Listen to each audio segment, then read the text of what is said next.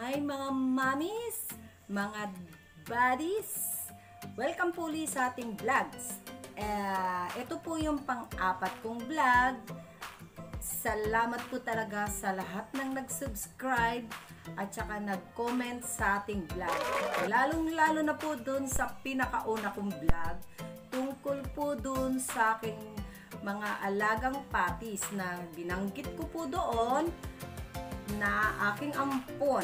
So, mayroon kasing nag tanong sa akin kung bakit daw ampon ang tawag ko doon sa pati ko. So, ah itong pang-apat nating vlog, tungkol po ito doon sa sinabi ko sa pinakauna kong vlog. Ah, meron kasi talaga akong ampon o kami ni Papa Dani na ampon. Tuta pa siya noon kaya ko siya sinabing ampon dahil nung una wala talaga kaming aso or tuta. Kasi ayaw ko talaga siya na meron kaming tuta or aso sa bahay dahil naguguluhan ako. Yung anak ko kasi may alaga na siyang uh, pusa. Ngayon, sabi ko tama na sa akin yung pusa, ayaw ko ng aso. Eh, meron nung nakaraang taon, habang ginagawa pa namin yung gate dito sa bahay. Etong yung itong si Cookie, ang pinangalan ng anak ko dito sa sa ampo namin ay Cookie. Bigla siyang pumasok dito sa amin habang ginagawa yung gate diyan sa, sa labas. Sabi ko sa anak ko, palabasin mo yung aso baka makakagat. Imbis na papalabasin namin dito sa, sa bahay namin, nagsisiksik siya dyan sa may mga halaman. Ayaw talaga niya lumabas. So, sabi ko sa anak ko, o sige, hayaan mo lang siya, pero mamaya palabasin talaga. Pero nagtataka kami, hindi na talaga siya umaalis ng bahay. So, sabi ko sa anak ko, o sige, basta paalisin niyo siya dahil baka mamaya makakagat. Nagtataka kami, tuwing may tao na parang takot na takot siya. Pero yung itsura niya, hindi pa siya ganyan. Talagang dugyot yung katawan niya, ang dungis niya, ang baho niya. Sabi ng anak ko, mama, kawawa naman yung asong, o yung tutang to, wag na natin siyang paalisin, ampunin na lang natin. Sabi ko, eh, aampunin ang baho niya. Pero nung una, sabi ko, parang bulag yung ano niya, kasi yung dalawang mata niya, parang nagkulay white, ang lalaki ng muta niya, kulay white. Akala ko, bulag yata itong tutang ito. So sabi ng anak ko, hayaan na lang muna natin siya, dito na lang muna. Tapos sabi niya, pag may maghanap, ibibigay natin. Sa, habang wala pang naghanap sa kanya, dito man na siya sa atin, aampunin na lang muna natin. So, yun nga, inampun namin. Dito muna siya. Pero ayaw ko talaga siyang pumasok sa bahay kasi ang baho niya. Sabi naman ng anak ko, sige mama, para hindi ka mag-ano, pinaliguan ng anak ko, pinapakain siya. Pero habang ganon ang sitwasyon, hindi ko talaga siya pinapapasok ng bahay, nasa labas lang siya pag may luma, pag may dumadaan na sasakyan or tao, nagtatago talaga siya kung saan saan. Parang takot siya sa sa tao. Pero doon sa anak ko, kaya sa ano, kasama namin dito sa bahay, parang lumalapit na siya. Sa akin lang siya takot kasi alam niya na ayaw ko talaga ng aso. Dahil may pusa ngayong anak ko, may alaga siyang pusa. Ngayon, dumaan yung guard dito sa amin. Sabi ng guard, Mother, sa inyo po ba yung asong yan? Sabi ko, ay hindi po. Sabi ko ganun, ampun lang po muna namin siya pansamantala. Sabi ko, pero pag may maghanap po na kung sino po yung may-ari nito, pakisabi na nandito sa amin, ibabalik po namin siya. Nung nalaman po nitong katabi naming bahay na hindi sa amin yung aso dahil palibasa laging walang tao bahay nila, tinatawag niya yung aso pinapakain niya sa bahay nila. So, eto namang si Cookie, pag pinapakain siya doon sa labas, so yung, yung, yung gate namin habang ginagawa pa, yung labas namin ha, nang inaayos pa, tinatawag siya ng kapitbahay namin, pinapakain siya doon. Takbo naman siya doon, kakain siya. Pagkatapos siya kumain, babalik po siya dito sa amin. So, parang yun ang una kung bakit ko siya tinawag na ampon eh, alam siguro, nararamdaman siguro ni Cookie na ayaw ko talaga sa kanya. Pag nandyan ako, lumalayo siya. Pag wala ako, naglalambing siya kay Papa Danny sa mga anak ko. Pero sa akin, ilag siya. isang beses, kasi dito kasi sa subdivision namin, nag-online ako ng bigas. So, isang beses, nagdi-deliver ako ng bigas gabing gabi kasi pag online, alam niyo na po, pag online, pag nag-deliver, kasi free delivery ang online namin dito sa subdivision. Anytime, kahit araw man, tanghali gabi, pag may nag-order, hinahatid talaga namin yan agad. Merong nag-order isang beses mga alas 10 na yata yun ng gabi, umulan, ang lakas ng ulan. Nag-deliver kami dalawa ni Papa Dani. Sabi ko kay Papa Dani, ako mag-drive, siya na ang doon sa likod para pagdating namin sa deliver, siya bubuhatin niya yung bigas. Napansin ko habang papunta kami doon sa deliver, si Cookie nakasunod sa amin. Umuulan. Sabi ko, hala, pauwi natin si Cookie kasi nakabuntot sa amin. Sabi ng asawa ko, hindi, hindi, pasakay na lang. So, nag-stop kami, pinapasakay namin sa sakyan, ayaw niyang sumakay. Talagang, doon talaga na umpisa, naawa ako talaga sa kanya kasi sabi ko, ang aso pala talaga, pag naano nilang mahal sila ng na, kung kagay sa kanya na inampun namin siya, naramdaman niya na alagang-alaga siya ng anak ko at saka ni Papa Dani, talaga hindi na siya umalis. Sa akin lang talaga siya takot ng una. Doon nag, nag-umpisa po talaga, naawa ko sa kanya kasi pinapasakay, ayaw niya sumakay. Hanggang pag uwi na namin, tapos na kami nag-deliver ng bigas, nakasunod pa rin siya. Pinapasakay ng ni Papa Dani, ayaw talaga niya sumakay. Takbo lang siya ng takbo, basang-basa sa, sa, sa ulan So, naawa ko sa kanya. Pagdating dito sa bahay, sabi ko kay Papa Dani, punasan mo kasi gabi-gabi na hindi na pwedeng paliguan, punasan na lang siya. So, pinunasan ni Papa Dani bago kami pumasok sa bahay. Mula noon, talagang unti-unti na ako napalapit sa kanya. Siguro nararamdaman na rin niya na uh, magaan na yung loob ko sa kanya. Kasi dati, pag pinapakain siya, dead mal ako, hindi ko talaga siya pinapansin pag nandyan ako, iwas talaga siya. Pag umaalis si Papa Dani, sumasama siya. Kahit na pag, halimbawa, punta si Papa Dani sa palengke, pag nagdala si Papa Dani sa sasakyan, sakay siya.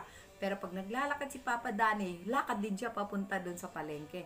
Pero pag nakita niya sa sasakyan na nandoon ako, hindi talaga siya sasakay. Kaya nung, nag, nung umpisa nung umuulan na nag-deliver kami, doon ko talaga naramdaman na yung loyalty ng aso pag naramdaman nilang mahal natin sila, talagang ipapakita din nila o ipaparamdam nila sa atin na ganon, mabait talaga sila. So, umpisa nun, parang unti-unti ko na siyang ina, tinatawag ko na siya. Kasi nung una, kahit pangalan, di ko alam, Cookie. Ano ang pangalan ng aso na yan? Cookie daw. Sabi ko, ah, Cookie. Mula nun, Cookie, halika na. Pinapakain ko na siya. Pina, pag pinapaliguan siya ng anak ko, nandun ako, nag, ano ko na sa kanya ng tubig. Unti-unti na rin siyang, parang hindi na siya takot sa akin uh, nung mga ilang buwan, kasi hinahayaan lang namin siyang hanggang nag, natapos na yung gate, kasi ang tagal na gawa nung gate na yan eh. nung ano na, hinahayaan lang namin siyang lumabas kasi nag-iikot-ikot siya dito. Sabi ko sa guard, nung dumaan yung guard, manong guard, wala pa bang naghanap ng ano, ng nawala ng aso? Kasi yung aso, o yung tuta, naging aso na malaki na siya. Sabi ng guard, ay wala po ma'am. Sabi ko, basta ha, pag may naghanap, andito lang. Pero sa loob-loob ko, sana wala na maghanap kasi, kumbaga sa ano, sa amin na lang siya.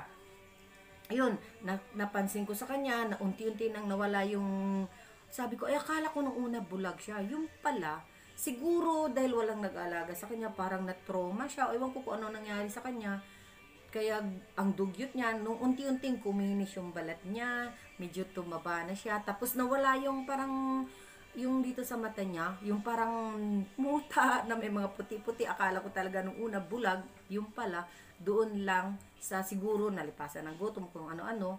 So, hinayala na siya, masaya na siya, ganyan-ganyan. Hanggang sa na, sabi ng anak ko, ma, parang buntis yata to si Cookie. Sabi ko, paano nabubuntis yan? Sabi niya, eh syempre pag-alagala lang dito sa loob natin. Sabi ko, naku, sabi ko ganon. Pag nanganak yan, naku, patay, ayaw ko na talaga. Tama na yung isang aso sa bahay. Sabi ko, kasi may pusa na, may aso na, lalong magulo. Sabi ng anak ko naman panganay, mama, masarap maraming aso sa bahay kasi pag umaalis daw, may tatao. Sabi ko, tama na yung isa si Cookie. So, siguro si Cookie naramdaman na naman siguro niya na hindi welcome sa akin yung anak niya. So, parang unti-unti na naman siyang lumalayo sa akin. Para umiiwas na naman siya. Nung December, sabi ng anak ko, Ma, malapit na yata mga anak si Cookie, sabi niya sa akin. Sabi ko, ah, sige, pag nanganak yan, ipamigay natin yung anak niya. Sabi naman ng ano ni, ni, ni bunso ko si mama, hindi pa nga nailabas ipamimigay ko na daw. Sabi ko hindi pag nanganak. So eto na. Ah, December 23, umalis kami ng bahay. Ang naiwan dito si Cookie lang mag-isa. So, sabi ng anak ko, Mama, baka mamaya manganak si Cookie ng December. Sabi ganon. Di, sabi niya, baka manganak si Cookie kasi kanina parang nararamdaman na ng anak ko na bago kami umalis, nakahiga lang siya dyan. Ayaw niyang tumayo, parang malungkot. Ganon ganon. Sabi ko, ah okay. Nagulat kami pagdating namin dito sa bahay nung 23 ng gabi. Hala, andyan na yung mga, mga ang liliit, ang cute. Anim yung anak ni Cookie. Sabi ko, naku, ang dami ng anak. Sabi ko, sige, yung anim na yan, pamigay natin yan. Si Cookie, siguro alam niya na hindi welcome sa akin yung anak niya. Pag lumalapit ako sa kanya, tinatabihan talaga niya yung anak niya. Ayaw niyang, kung pwede nga, ayaw niyang pahawakan sa akin. Pero sila, yung anak ko, tsaka si Papa Dani, pag yung ibang aso kasi, ang sabi, pag ah hinahawakan yung anak nila, nagagalit, di ba? Pero si Cookie, maliit na maliit pa yung anak niya. Kasi, kasi palibasa, excited yung mga anak ko, tsaka si Papa Dani, na may tuta, hinahawakan yung anak niya. Hindi siya nagsiselos, hindi siya nagagalit. Na, tumitingin siya. Pero pag ako lumalapit sa kanya, parang tinatakpan niya yung anak niya, ayaw niyang lapitan. Kasi iniisip niya, baka ibibigay ko na. Sabi ng anak ko, ma, bawal pang ibigay ito mga tuta kasi maliliit pa ibigay sila pag malaki na, abutan na sila ng 2 months or 3 months.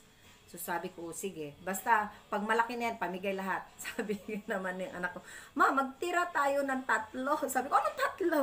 Huwag na, ibigay yan lahat. Sabi naman ng ano, isa kong anak, sige ma, dalawa na lang, tig isa. Sabi ni Bunso, dalawa na lang ma, tig isa kami ni Kuya. Ay hindi, sige, kung gusto niyo iwan yung isa, sabi ko, ganon. So unti-unti silang lumalaki. Dumating dito yung pinsan ko na sa ano, namasyal dito sa bahay, nakita nila yung tuta. Ang sabi na, "Uy, ang ganda, ang cute. Pwede ba makahingi?"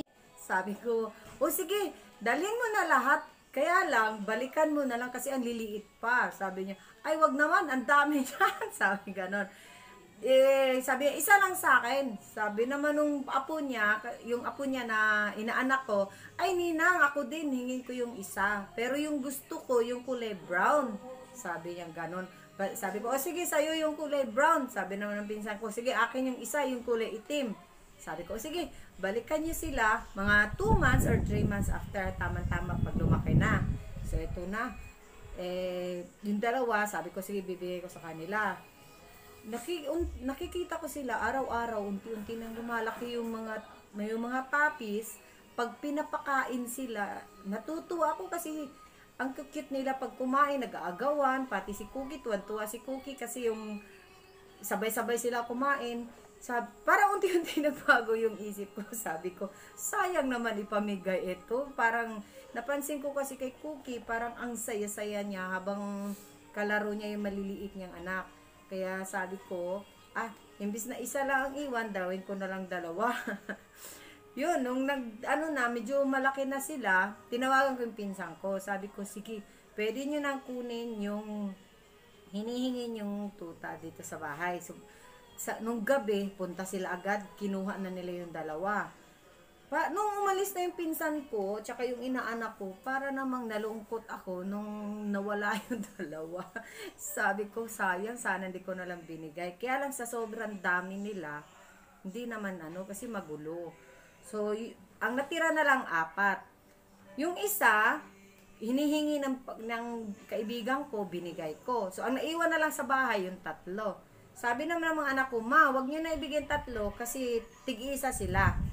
Yung panganay ko, tapos si, yung pangalawa, tapos si Bunso.